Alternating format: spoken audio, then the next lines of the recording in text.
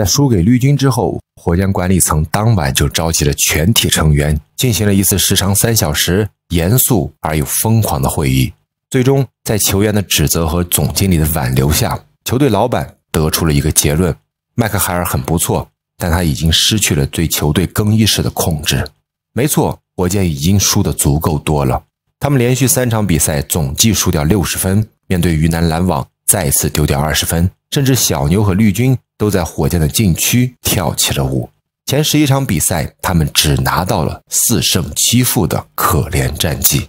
这四胜完全是哈登的功劳，两场四十加，一场三十加，还有一场二十八分的大号两双。但这七负其实也完全归罪于大胡子，他几乎场场命中率百分之二十，甚至还被爆出在赛前去酒吧狂欢了一夜。令所有人都没想到的是，最后背锅的人是主教练麦克海尔。显然，管理层的举动是为了打醒哈登，再不从悲伤中走出来，倒霉的就该轮到你了。幸运的是，哈登很痴情，但也并不傻。十一月面对费城，哈登狂砍五十加，近两战奇才收获四十加准三双，连续打破队史纪录。一六年一月正式和科勒分手后，他又顺利的把常规赛总得分突破了一万。成为了零九届的第一人，在被造谣想要挤走霍华德之后，哈登简直是开启了个人进攻的总开关。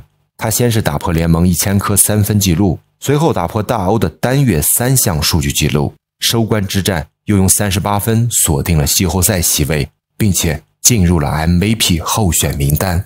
但再疯狂的个人成绩也无法掩饰他们只拿到了西部第八，更别提在首轮。他们就要碰到七十三胜九负的老对手金州勇士，这几乎是一轮毫无悬念的季后赛。甚至在最后一场，哈登在输掉三十四分的同时，还送出了七次失误。于是，在那个夏天，所有人都对哈登表示了失望，并且有无数评论员对他进行了口诛笔伐。但作为当事人，哈登并没有气馁，因为他知道火箭正在做一件。能改变他职业生涯的计划。